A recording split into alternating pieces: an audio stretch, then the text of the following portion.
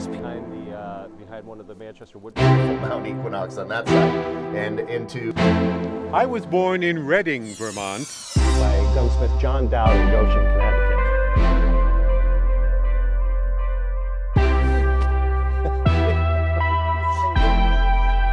so he died in March. He's going buried. Luckily,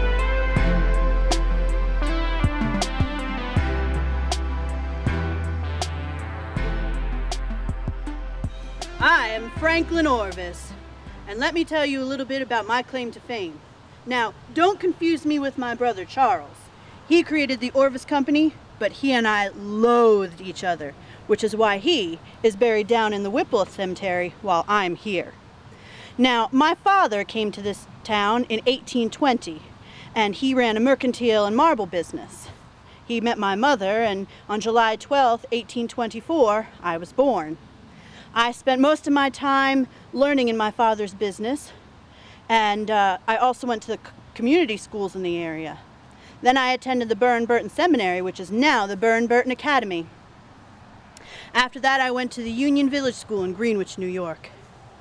Now, in 19, 1852, I married Sarah Whitten, and together we had six boys. My, my, my son George took over the business when I died in the year 1900. In 1869, I was elected to the state senate for the Bennington County Republican Party. My brother Charles was a Democrat, one of the reasons why we loathed each other so much. And I continued these endeavors until my death in 1900. Now, how many of you have seen that giant hotel in downtown Manchester, the Equinox Hotel and Resort? Well, let me tell you how that came to be. In the year 1849, my father passed away. And in the year 1852, I moved into his house and I decided to turn it into a summer resort.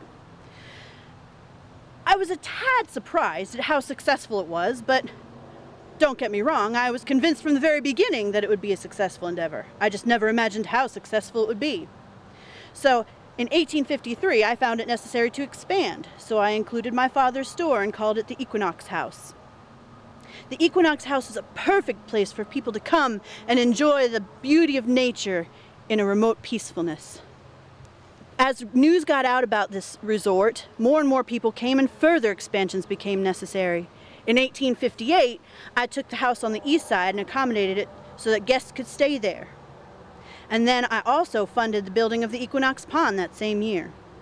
Then in 1880, I needed it to be even bigger, so I bought the Taconic House.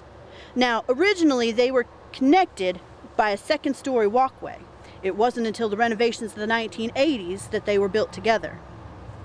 Over the years, as popularity increased, we needed to make even more renovations, and it eventually became the Equinox Hotel that's in, present here today. Now, I had some other hotel endeavors down in Florida, but I would always come home in summer in the Equinox until my death in 1900 when George took over the business. Now, when he died in the year 1917, his wife Louise took over running of the business. So that's how the hotel came to be in the center of Manchester. I hope you've enjoyed meeting with me, and I hope you go and stay in my beautiful hotel.